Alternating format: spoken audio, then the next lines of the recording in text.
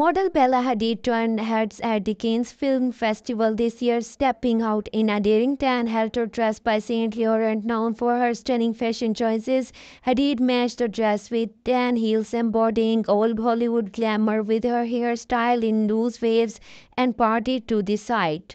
Once a regular at the prestigious film festival, Hadid skipped last year's event and the Met Gala, sparking curiosity among her fans. During an interview with Allure at the end of April, she revealed the reasons behind her hiatus from the modeling world. After 10 years of modeling, I realized I was putting so much energy and love and efforts into something that in the long run was not necessarily giving it back to me. She shared this in introspective moment and led her to move to Texas, where her partner Adan Banuelos presides. Hadid reflected on her new life in Texas, expressing how much she enjoys a simpler lifestyle that includes doing her own hair and makeup and spending quality time with friends, just as I have styled myself for years now, which I still do.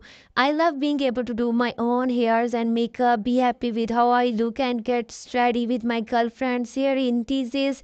We have the best time and I never feel like I need to do much, she revealed. This shift in her lifestyle has also had a significant impact on her mental well being. For the first time now, I am not putting on a fake face. Hadid added, If I don't feel good, I won't go. If I don't feel good, I take time for myself, and I have never had the opportunity to do that or say that before. Now, when anybody sees me in pictures and they say I look happy, I generally am.